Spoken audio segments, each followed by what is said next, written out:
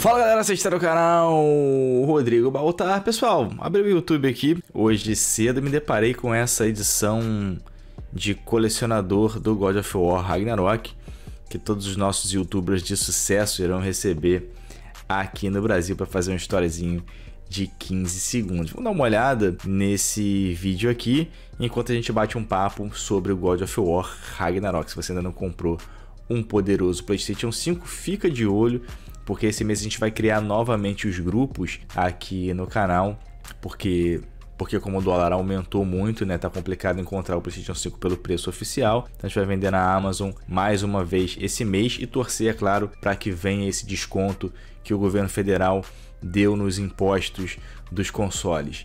Beleza? Então já se inscreve aí no canal, muito importante que você se inscreva no canal. Dá uma olhada nos nossos patrocinadores nos links da descrição, tudo que você comprar aí, Amazon, Terabyte, AliExpress, GVG Mall, você vai estar ajudando muito o meu trabalho aqui, beleza? Dá o like aí se você gostar e bora lá pro vídeo.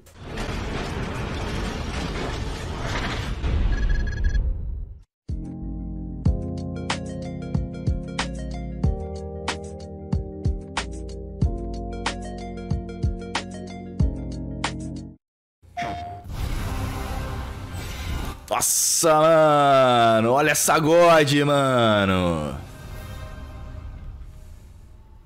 Well, Jotinare amazing people out there. I am Ryan Hurst.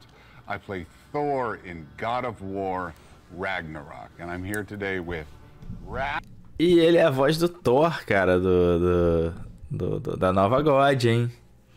Do Thor gordão. the art director for God of War Ragnarok. All right, so we're doing unboxings today, correct? Yes. Two. We're doing the collector's edition and the Jotnar.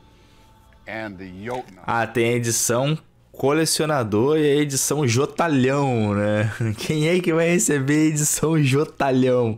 Bota aí nos comentários, meu Prime. Ah, e não esquece de participar do sorteio da RTX 2060, hein, cara? Só virar membro aí pelo Tipa. So tell me, after working on this thing for so long, what is it like to finally be able to share this with the world?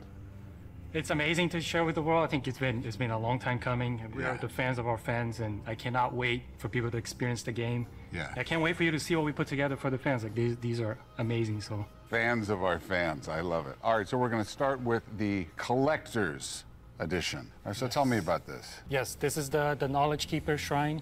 The Knowledge Keeper's Shrine, Yes, we've seen this before in the game. Caralho, esse Thor é meio, meio estranhão, né, cara? An experience. So everything about this is there's secret compartments and everything. Secret compartments, you had me at secrets.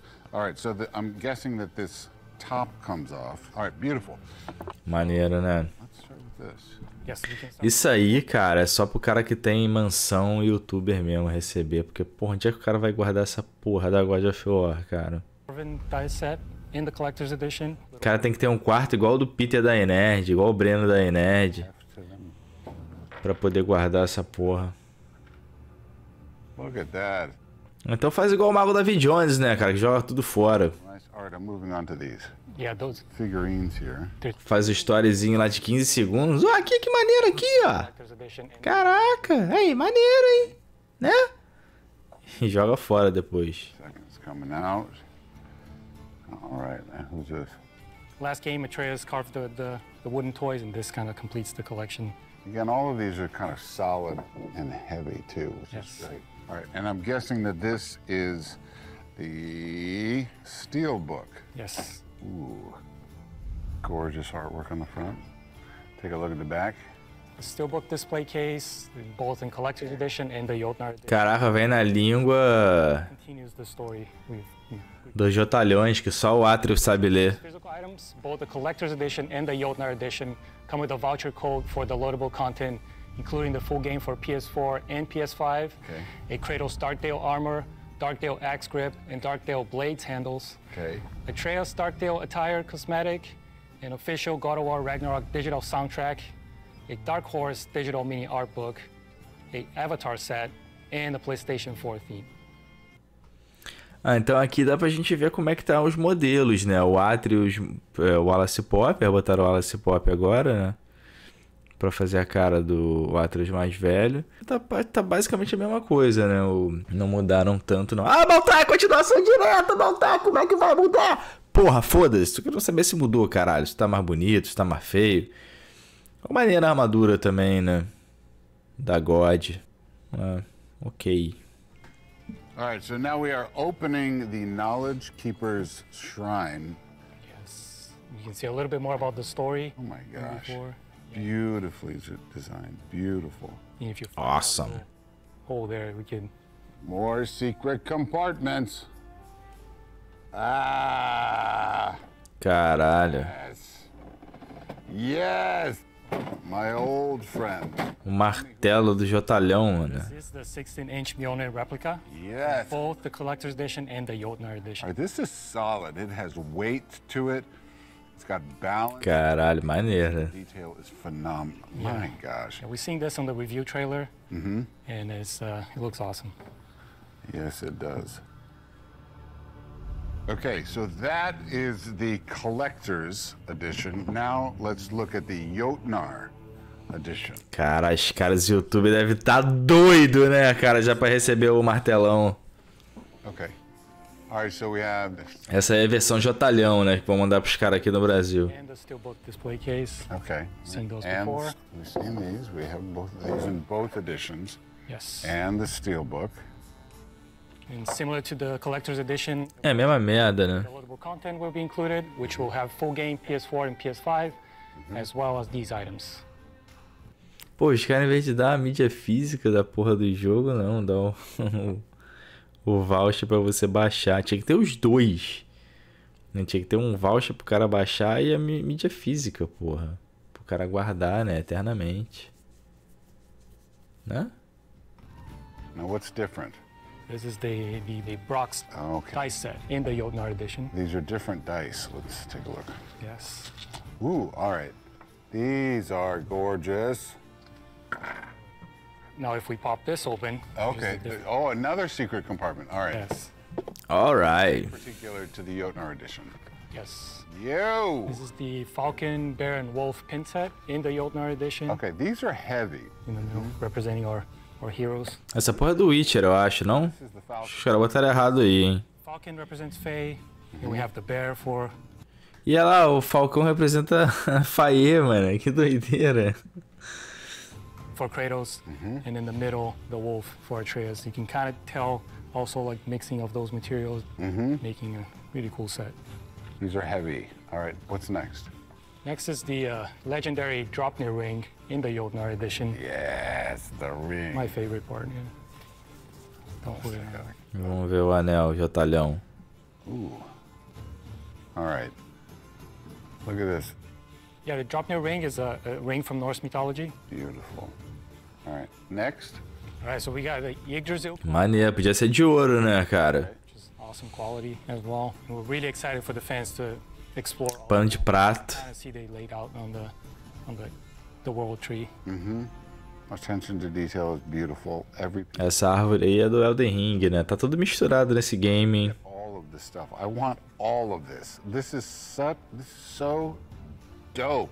All right, so now let's look inside the Knowledge Keeper's Shrine. Você que é sonista, essas porra não vende aqui no Brasil, né, cara? Só quem ganha mesmo são os youtubers, né? Isso é porra feito pra presentear youtuber. Não dá pra comprar essa merda aqui. Não dá nem pra comprar o game, que é caro pra caralho. If we open this again, mm-hmm. on this one there's an extra secret compartment here. Extra secret compartment. A seven-inch vinyl record featuring the music by Bear McCurry. And Caralho, aí. Look at this. amazing soundtrack. Amazing soundtrack, but also beautiful artwork. I love the soundtrack. Me too. I love this. Trilha sonora, cara. All right. So I, Vinil, né? Vinil, né? all right.